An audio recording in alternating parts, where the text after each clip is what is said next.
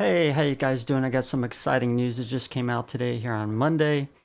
Uh, I have been making oblivion of videos. Um, it is definitely important for, uh, for my channel for you guys to know this. Um, Blackmagic Design is totally rewriting uh, DaVinci Resolve 14 uh, beta, which is available right now. What's that? Uh, what that means, and they claim it's going to make DaVinci Resolve as much as 10 times faster on your current hardware. And uh, that is really some exciting news, as well as um, they also acquired a company, Fairlight, for audio, which is going to be fully integrated into um, DaVinci Resolve as well. And I think that's the part that um, that needs some work. Of course, for um, color correction, it's almost the best available out there.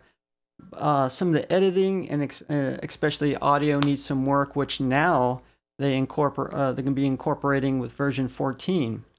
And that's what I've always said in the past. It is important that software companies um, over time rewrite some of their very old software to take advantage of new technologies and even run better on older hardware. And I've even said this with, uh, this is something that um, Apple did with Final Cut Pro 10. Yeah, a lot of people didn't like it, but they did some very quick um, updates. Uh, I think as many as 19 or even more than 19 updates very quickly. And um, optimize it for OpenCL. They tend to uh, choose uh, AMD video cards, but maybe in the future they're going to use NVIDIA and it's so powerful, so quick, background rendering, export, um, and I it's even faster, I believe, than um, um, Premiere Pro, and I do believe Premiere Pro does need to be uh, perhaps rewritten as well. I, I not getting indications that they necessarily do it. Of course, they do continual upgrades, but I think it's over the um, perhaps some of the older software. Um, of course, they're kind of worried about, like I said, uh, I mentioned before, that if they make it um, too totally new or redo the interface too much, then they're going to kind of um, throw off their current customers. Obviously, what what they don't want to do, and I even uh, seen that before, where people say, "Well, um, Premiere Pro doesn't work good on Apple.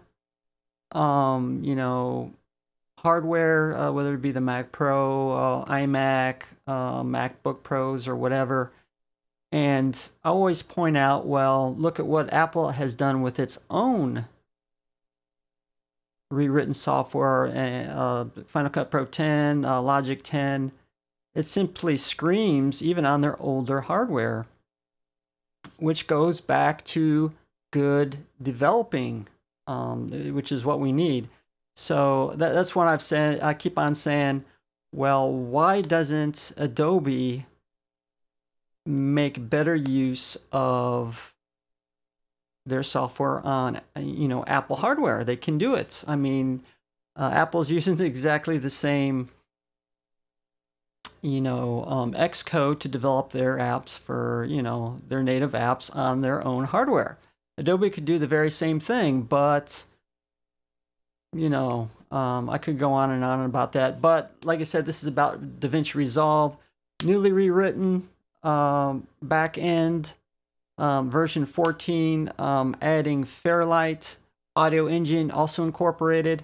You can download the beta now, which I've just done uh, earlier, and try it out for yourself.